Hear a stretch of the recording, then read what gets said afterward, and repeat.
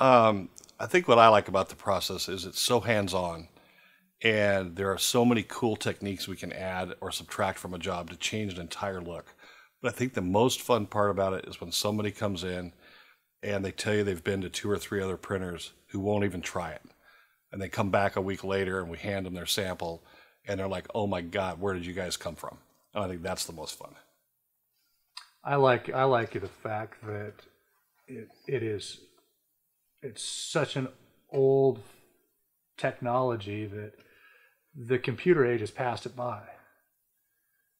And I don't see it, and we don't see it anytime soon being replaced by the computer and pushing the button and printing and getting a letterpress piece. I mean, uh, anything's possible, I'm sure, but um, you know, it, it, just it's very it's very uh, classic